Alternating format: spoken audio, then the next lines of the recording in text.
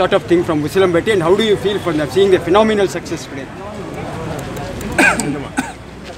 Madurai Rural District BJP has launched a massive public campaign to contact people in large number in Usilampatti municipality. As usual, the Madurai Rural BJP is known for its unique and novel ideas. And one such ideas is to meet the people in large numbers in Usilampatti today. And people responded very well for our initiative. And we conducted a massive road show more than 400 party volunteers and office bearers they have participated in our roadshow today. And we have introduced our symbol lotus to the common public. The media people they were excited to see our uh, roadshow and people's uh, uh, respond to our party and its programs. And all these things have been meticulously planned by the uh, district president Susindra and it was meticulously implemented by the general secretaries uh, and uh, Sivalingam and district office bearers and more particularly the Usilampatti town's uh, president Soundra Pandian and all such office bearers.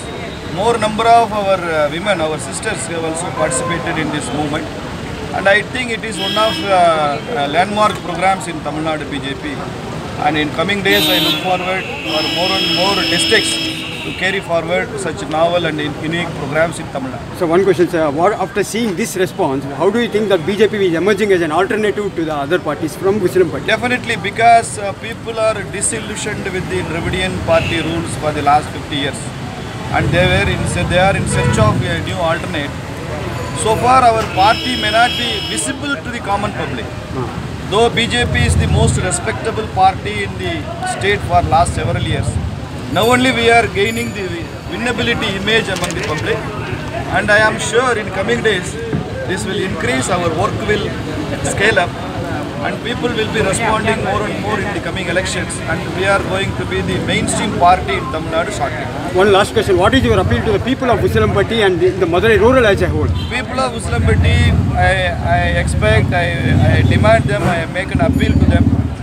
It is uh, in a democracy, it is the duty and responsibility of the common public to identify a good political party with values and virtues, and it is uh, their responsibility to make them to come to power.